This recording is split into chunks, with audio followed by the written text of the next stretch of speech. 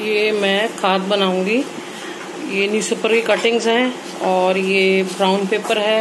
ये मैंने आज पपीता काटा है, उसके छिलके हैं और ये मेरे पास एक कॉरोगेटेड बॉक्स है। इसको भी मैं छोटे छोटे टुकड़े कर लूँगी और इसको मैं मिट्टी के साथ जो मेरे पास एक पॉट है उसमें मैं मिला के रखूँगी।